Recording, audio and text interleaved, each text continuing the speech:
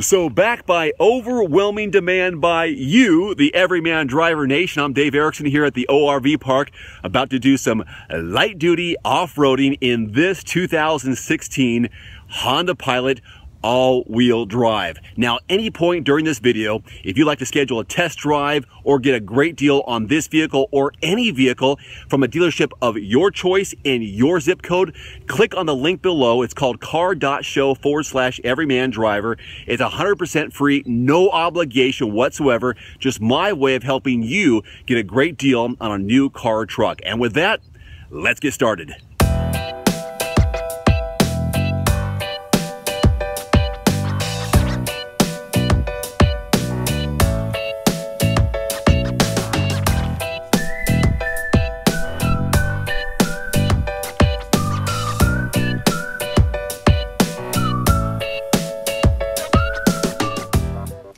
All right, Nation, we're behind the wheel. Hey, how do you like my new specs? These are uh, Serengeti eyewear. Found them online. I think it's serengeti.com. Pretty sweet deal. These are like a driving glasses collection. So I got myself a couple of pair, some sports, and also these. Anyways, here we go. Put her in drive. Lots to talk about when it comes to going off-road in this vehicle. Now, I did do a bunch of videos about this car back in July or August of last year. So the only thing we're missing is an off-road experience. And based on your request, that's why we're here at the ORV park, obviously. So we begin by going down a descent. And to tell you, we have 7.3 inches of ground clearance. I'm gonna stop on the hill because we have intelligent traction management, normal, snow, mud and sand. I'm gonna put it into sand right now. Because of the all-wheel drive system here, which is all new this year, 100% um, of the wheel, 100% of traction can go, or the power can go to the front, and up to 70% to the back wheels. And with this system, I can see the traction light on. It's taking it like a champ.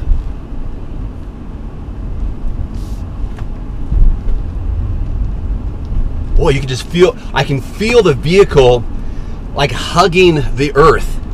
That was pretty cool. That's pretty steep too. All right, so kind of recap of what this vehicle is all about. Under the hood, we have a 3.5 liter V6, 280 horses, 262 pound feet of torque.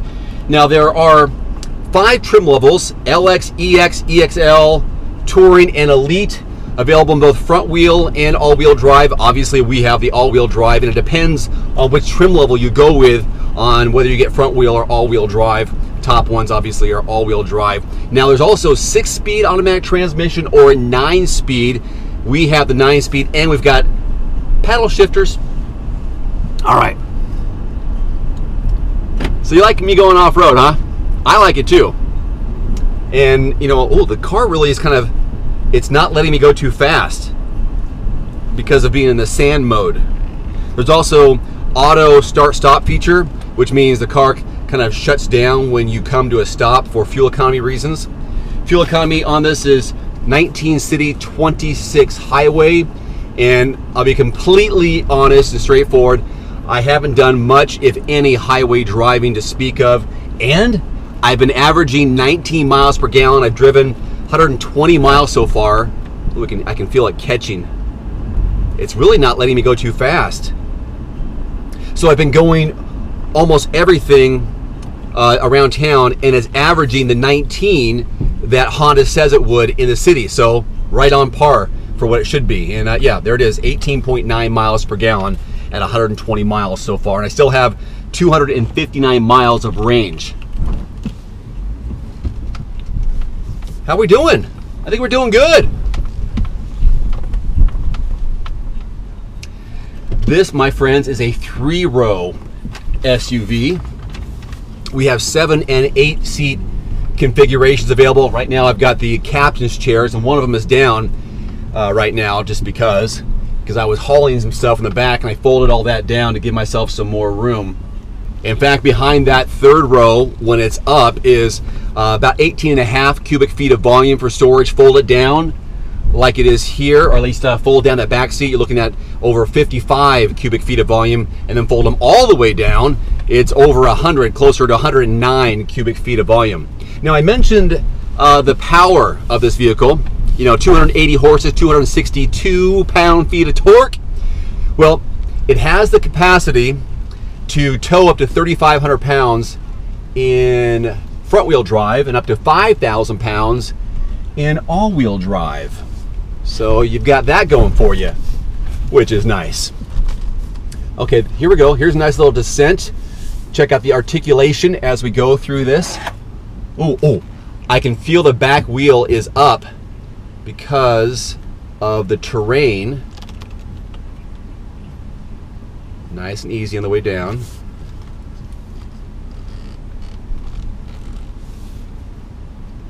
Boy, I feel very comfortable and safe in this car. This is like a pumped up CRV, but better. Considering what that looked like from the approach, that was extremely smooth. That that is you wouldn't think you can go over that and not have any real change in, in the vehicle's stability or horizontal flow. That was really nice. I think I just made up a term, horizontal flow. All right, here we go. Keep on going now. I hope you enjoyed that last video I did. It was with the um, the 2016 Volvo, and I came out here obviously because it's all-wheel drive, and it, it it crushed it. It is a solid vehicle. I mean, it's one of the safest vehicles out there. Not to say that the Honda is not safe, but it's safe, and it handled the the, uh, the pretty well. And with this vehicle, I'm feeling like we're gonna do have something very similar. So we're gonna skip that little pond right there, unless I want to skirt around it and look for any devices inside. God, that'd be so cool. You can see one, something popping up out of the edge. Probably won't happen. Ooh, this looks, uh, there we go. Just flirting with the water's edge. As far as the competition for this vehicle, uh, three of them come, come to mind. You got the Highlander, of course. I love to have the Highlander. I'd love to have any Toyota, by the way.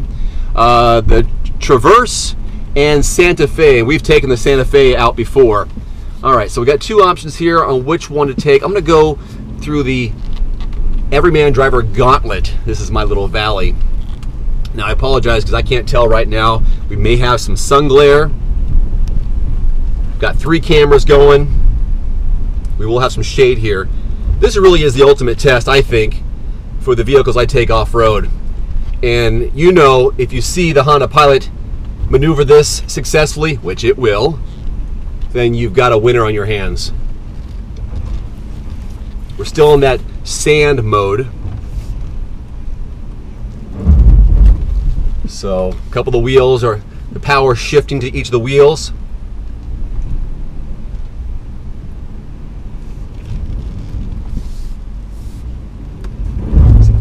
Ah, heard some skid on one of the wheels, but the other wheels held on for traction. I'm going two miles per hour, by the way.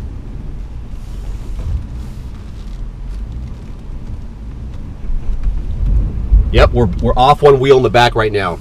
So what the vehicle is doing is I've got left front, right front, and back right are connected to the ground left is up right now, so we're getting power to these wheels while this one probably is not spinning because the vehicle is recognizing where the power needs to be distributed. Correct. It didn't it wasn't spinning from what I saw when I hit the accelerator. There we go. So if you're new to the channel and you're still watching, thank you. Why am I taking the Honda Pilot off-road? It's all-wheel drive, but not four-wheel drive. Because people want to know if I'm ever in the situation, how will my vehicle do? Because you can't go to a dealership and say, hey, I'll have to take it on a test drive. Where's your local ORV park? They're not going to do that. That's why you come to me, because I'm going to be safe, responsible, and I'm going to test the vehicle in a controlled environment but in something, boy, this is nice. Just hugging it. but something that's not going to be too dangerous, but you're going to see what it's capable of doing. And we're doing that right now. Pretty happy with it, aren't you?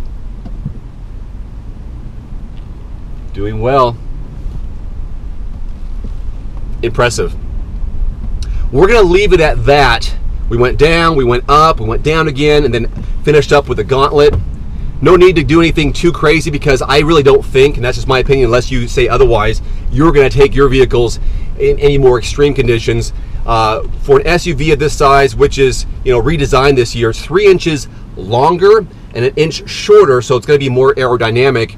Uh, fuel economy wise, it's really good. Uh, that 19 to 26 range. You have the automatic uh, start stop feature, so when you do come to a stop light or a stop sign, it will turn off to be more fuel economy, fuel economic. Um, there's a couple, I want to read these off so I want to make sure I have this correctly. They have this Honda sensing package, which I think is fantastic, which includes uh, collision mitigation braking system, adaptive cruise control, lane keeping assist, forward collision warning, lane departure warning, road departure mitigation. So going down the road, this car will begin to vibrate if you are going outside the, the, the lines on the left or right. It lets you know if there's a car in front of you that there's an impending collision possible. So it'll flash the word brake up. You got the blind spot detection over here. Uh, adaptive cruise control. So when you're driving down the road, it'll keep a, a set distance between you and the car in front of you for safety reasons. It's uh, I've, I've got so much more on the previous video. So just go on here on my channel, type in 2016 Honda Pilot, and you'll see what else I've done about this car. And this was just the missing element of all my videos is doing a little off-road experience. And flying colors, thumbs up. It passed the Everyman driver test here at the ORV park. Thank you for your requests to do a video off-road. And again, thank you to Honda for trusting us uh, for the last three and a half years to drive their vehicles and take care of them. And um, I think this is definitely a winner. Price point, this one is just over $47,000, fully loaded with the Elite trim level, and we're rolling on uh, 20 inch wheels right now. Lots of great stuff. I'll have all of this on everymandriver.com, even some downloadable documents so you can uh, keep that with you, whether it's the specs and things like that. All right, that's it for now. Uh, any suggestions for future videos or future cars, anything like that, uh, leave them in the comment section below. How do you think it did?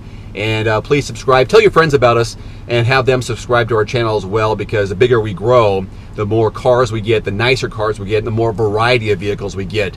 And uh, we're only growing by leaps and bounds. So thank you for making that happen. I'm Dave Erickson with Everyman Driver. Adios.